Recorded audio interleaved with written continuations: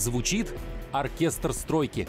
Словно огромная ракета из стекла и бетона в небо тянется башня Национального космического центра. Его возводят на северо-западе Москвы. Выглядит все уже сейчас весьма и весьма внушительно. Кстати, проектированием занимался Российский институт. Когда мы распланировали это здание, мы посмотрели, а как самое удобное это сделать.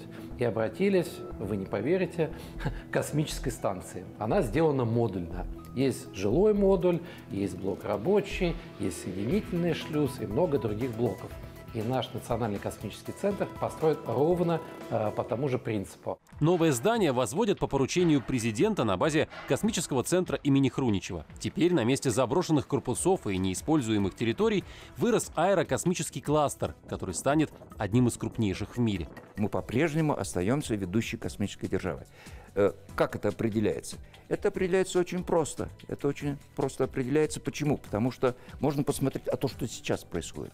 НКЦ – это один из показателей того, что наша страна сохраняет за собой лидерство в космосе. Вы только посмотрите на размеры нового комплекса. Его возводят на территории в 250 тысяч квадратных метров.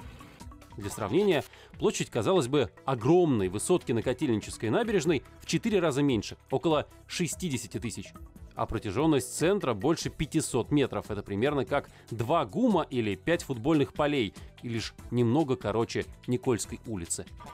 Для обеспечения надежности э, здания с учетом сложных инженерно-геологических условий площадки фундаментах здания предусмотрено 168 буронабивных свай высотной части и 7200 свай в низкоэтажной части здания. Такая дополнительная опора просто необходима для гиганта высотой в 47 этажей.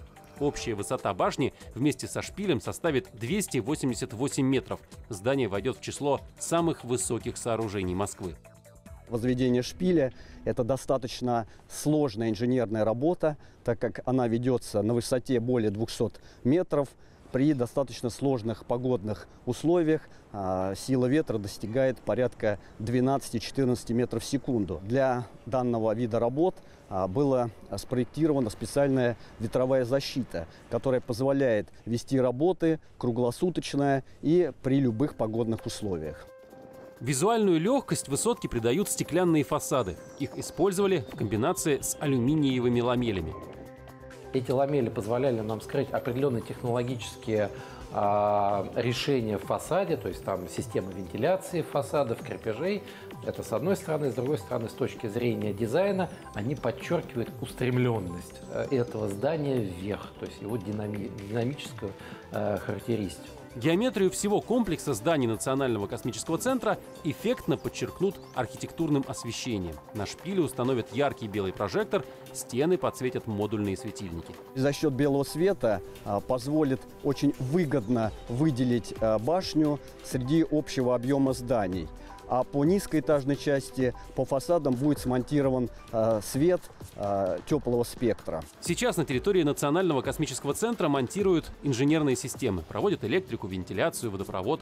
Рабочие уже установили более 80 лифтов, в том числе 13 скоростных в самой башне. Планируется, что здесь будут работать около 20 тысяч ученых, инженеров и конструкторов. Для их работы внутри будет самое современное оборудование, а новые комфортные условия должны помочь специалистам решить глобальную задачу – высадить российского космонавта на Луне и покорить Марс. И в реализации этой мечты, ну, конечно, мы неизбежно да, здесь невозможно уклониться, будем принимать и принимаем участие в подготовке этого. Это, ну, если хотите, мегапроект, да, и, конечно, мегапроектами должны заниматься соответствующие центры. И вот на предполагаемый центр, планируемый центр, такие задачи, безусловно, возлагаются. Космические расчеты и лабораторные исследования будут проводиться вот в этом длинном корпусе, который примыкает к центральной башне ракете. А еще на территории комплекса откроют музей. Экспозиция будет посвящена достижениям российской космонавтики.